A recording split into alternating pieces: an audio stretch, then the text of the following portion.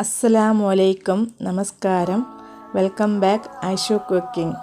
ഇന്നത്തെ recipe passion fruit pudding അധികം ചേരുവകളൊന്നും ഇല്ലാതെ ജലാട്ടീനോ ചൈന ഗ്രാസോ ഒന്നും ഇതിന് വേണ്ട. പെട്ടെന്ന് ചെയ്യാൻ പറ്റുന്ന ഒരു റെസിപ്പിയാണ്. എങ്ങനെയാണെന്ന് വീഡിയോ ഒന്ന് കണ്ടാലോ? ഇവിടെ ഞാൻ എടുത്തിരിക്കുന്നത് കോൺഫ്ലവർ പഞ്ചസാര കസ്റ്റർഡ് പൗഡർ പാൽപ്പൊടി.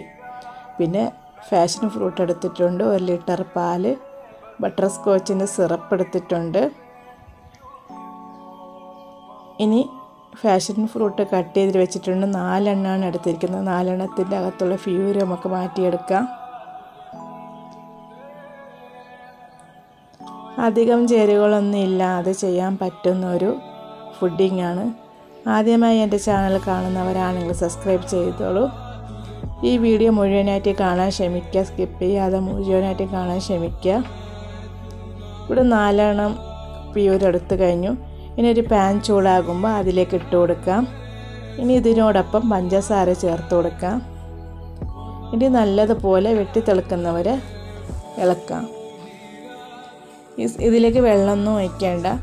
ഇപ്പോൾ നല്ലതുപോലെ വെട്ടിത്തിളക്കുന്നുണ്ട് ഇനി വേറൊരു പാത്രത്തിലേക്ക് പാൽ ഒഴിച്ച് കൊടുക്കുക പാൽ ഒഴിച്ചതിന് ശേഷം പൊടികളൊക്കെ ഇട്ട് കൊടുക്കുക ഇനി കോൺഫ്ലവർ ചേർത്ത് കൊടുക്കുക. നാല് സ്പൂൺ കോൺഫ്ലവറാണ് ഇത് ചേർത്ത് കൊടുത്ത് നല്ലതുപോലെ കട്ടയില്ലാതെ ഇളക്കി കൊടുക്കാം ഇനി രണ്ട് സ്പൂൺ അളവിൽ കസ്റ്റർഡ് പൗഡർ ചേർത്ത് കൊടുക്കാം. കോൺഫ്ലവർ മാത്രം വെച്ചിട്ട് ചെയ്യാം. ഒരു കളർ വരാൻ വേണ്ടിയിട്ടാണ് കസ്റ്റർഡ് പൗഡർ ചേർത്തിരിക്കുന്നത്. ഇനി ഇതിലേക്ക് അര കപ്പ് പാൽപ്പൊടി ചേർത്ത് കൊടുക്കാം മിൽക്ക് മേഡ് ഉണ്ടെങ്കിൽ മിൽക്ക് മേഡ് ചേർത്താലും മതി. എന്നിട്ട് നല്ലതുപോലെ ഇളക്കി കൊടുക്കാം ഇനി ഇതിലേക്ക് പഞ്ചസാര ചേർത്ത് കൊടുക്കുക. പഞ്ചസാര ചേർത്ത് നല്ലതുപോലെ ഇളക്കി കൊടുക്കുക. ഈ സമയത്ത് തീ ഒന്ന് ചെറുതാക്കി വെച്ചാൽ മതി. ഇനി ഒരു നല്ലൊരു ഫ്ലേവർ കിട്ടാൻ വേണ്ടി ഇവിടെ ഞാൻ ചേർക്കുന്നത് വനില പൗഡറാണ് അതൊരു സ്പൂണ് ചേർത്ത് കൊടുക്കാം വല്ല എസൻസ് ചേർത്താലും മതി. ഇതിന്റെ ആവശ്യമൊന്നുമില്ല. എന്റെ കയ്യിലുള്ളത് കൊണ്ടാണ് ചേർത്തത്.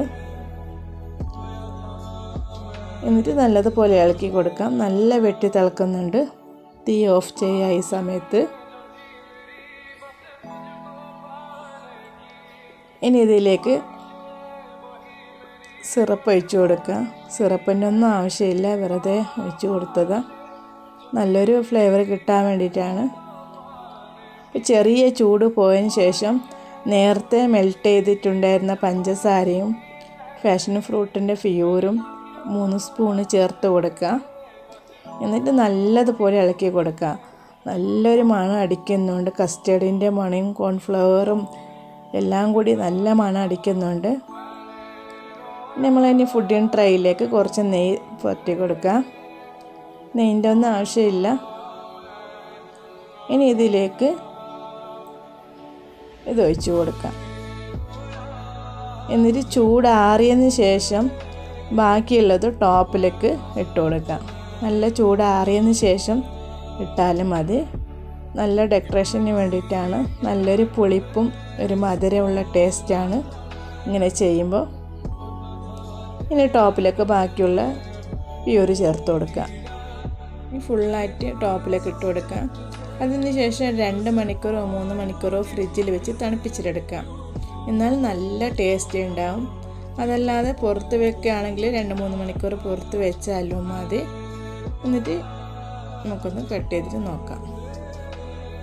അപ്പോൾ തീർച്ചയായും നിങ്ങളൊന്ന് ട്രൈ ചെയ്ത് നോക്കൂ ഫീഡ്ബാക്ക് കമന്റിൽ അറിയിക്കൂ എങ്ങനെ ഉണ്ടായിരുന്നു ഇന്നത്തെ റെസിപ്പിന്ന് അപ്പോൾ ഒന്ന് കട്ട് ചെയ്ത് നോക്കിയാലോ? നല്ല സോഫ്റ്റാണ് കേട്ടോ. പറയാനൊന്നുമില്ല സൂപ്പർ കിടില.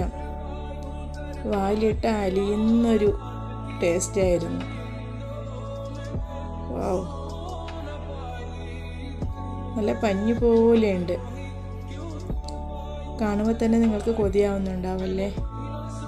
തീർച്ചയായും നിങ്ങളൊന്ന് ട്രൈ ചെയ്ത് നോക്കൂ. ഫീഡ്ബാക്ക് കമന്റിൽ അറിയിക്കൂ. പരമാവധി എന്റെ വീഡിയോ നിങ്ങൾ ഷെയർ ചെയ്യാൻ ശ്രമിക്കുക. ഷെയർ ചെയ്തോളൂ. ലൈക്ക് ചെയ്യൂ. കമന്റ് ചെയ്യൂ. Thank you for watching my video next video വരുന്നതായിരിക്കും ബൈ ബൈ